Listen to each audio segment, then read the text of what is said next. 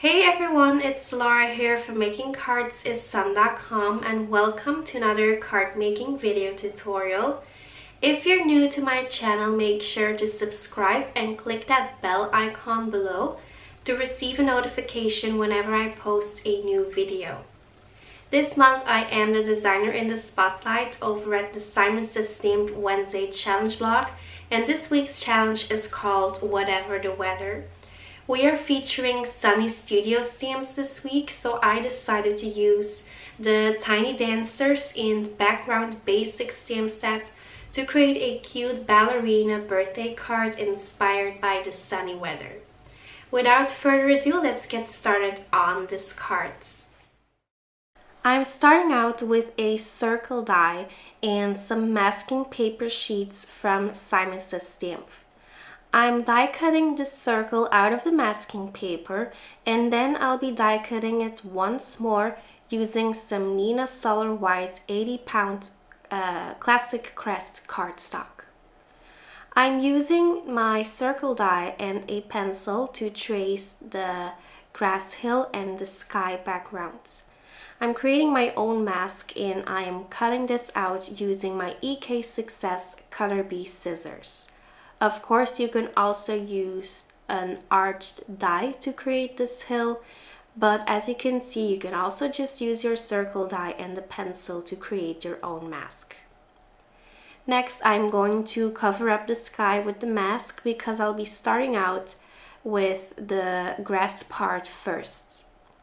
I'm going to do some heat embossing, so I'm prepping my cardstock with some kitchen flour to remove any static cling. You can also use a powder tool or a little powder bag to prep your cardstock. I'm using the background basic stamp set to create some um, or to add some pattern to this grassy hill. I'm using the polka dot background and I'm stamping it on my white cardstock using the Wow Ultra Sticky and Slow Drying pads. I'm going to stamp and line up this border once again since it's a little bit too short to cover up the entire hill. So I'm just repeating the same step. I am stamping it with the Wow pad and next I am sprinkling on some clear gloss embossing powder from Wow. Since we're using white cardstock, you could also use white embossing powder since um, the polka dots will end up looking white since I just used uh, clear embossing powder. I think it would also be really cool if you could use a lighter or a darker shade of green, uh, shade I mean, uh, for your grassy border. That way you would end up with a tone on tone look and I think that would look really nice as well.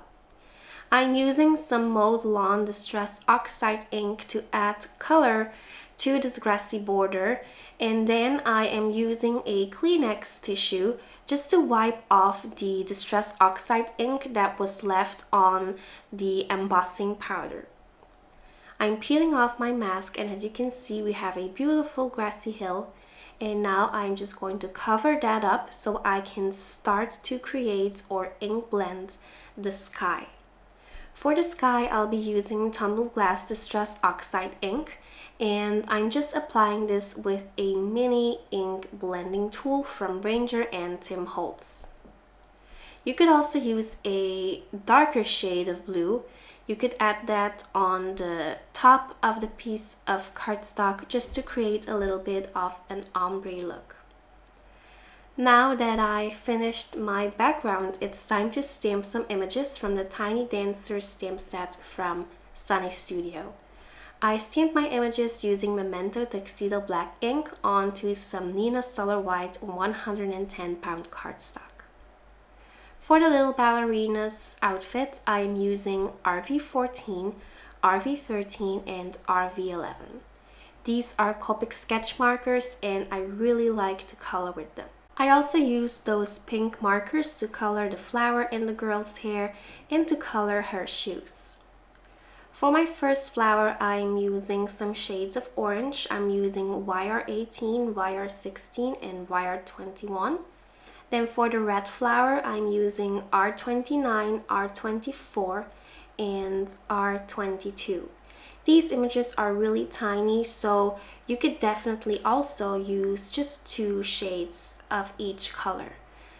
So as you can see for yellow flowers, I am just using two colors. In this case, I'm using Y04 and Y000. I use the same markers to color the star from the girl's magic wand. And then for her skin, I used E50 and E0000. I thought that was a little bit too pale, so I just went back in with a darker shade to add some more shadow. Uh, I used the E51 color to do that. For her hair, I'm using three shades of brown. I'm using E27, E57, and E55. And I repeated these steps twice, and as you can see, it really makes a difference. The second time, or after the second time I added those colors, the hair looked uh, more of a darker uh, brown than it did before. Now that I colored all of these images, it's time to cut them out. I like to use the coordinating dies from the Tiny Dancers set and I'm using my Spellbinders Platinum 6 die cutting machine to die cut them. I also die cut a white scalloped circle and now I am adhering the um, masked and ink blended piece on this circle with some foam squares. I'm also using some smaller foam squares to adhere the little ballerina and to adhere some of the flowers. I also used the Tonic Nuvo Smooth Precision glue pen to adhere that magic wand and then to adhere the orange flower. I really like to work with this glue pen because the adhesive is really strong and you can also adhere like really teeny tiny images with it since it's such a fine little pen. To adhere the scalloped circle on my note cards, I used some scraps of Fun Foam and the Tonic Nuvo Deluxe adhesive.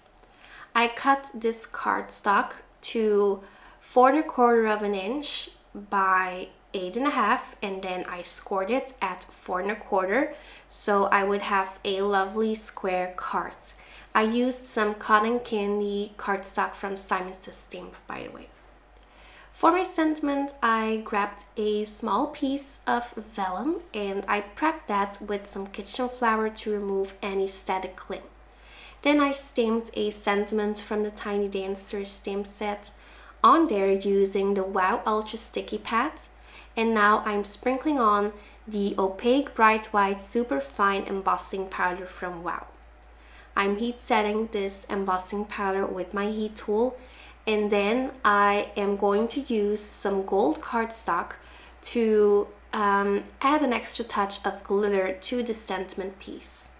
I'm using my Scotch ATG to adhere the piece of vellum to the piece of glitter cardstock and you won't be able to see that I used that adhesive since the gold uh, glitter cardstock is under there.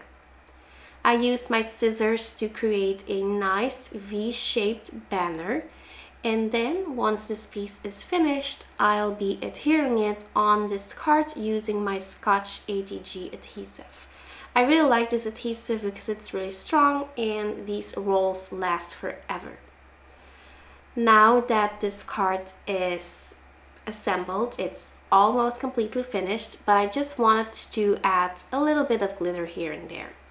I'm using a Spectrum Noir Clear Gloss Overlay glitter pen to add some sparkle and then I'm also using the Tonic Nuvo Crystal Glaze to add a little bit of dimension and shine to these flowers and to the ballerina's magic wand.